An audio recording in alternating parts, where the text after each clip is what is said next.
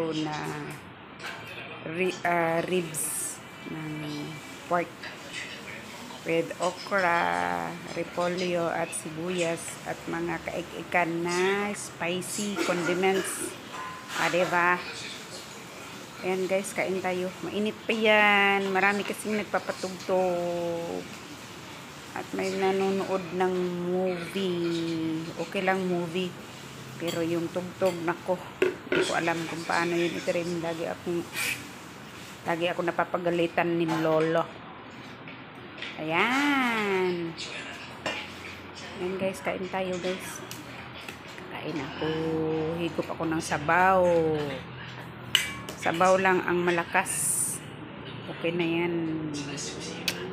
Kahit di ka na magkanin, okay lang. Basta may ganito kang sabaw, guys. Okay na. Yan. Kain po tayo, mga idols, and mga lodies, and mga ka-UFW. Kain.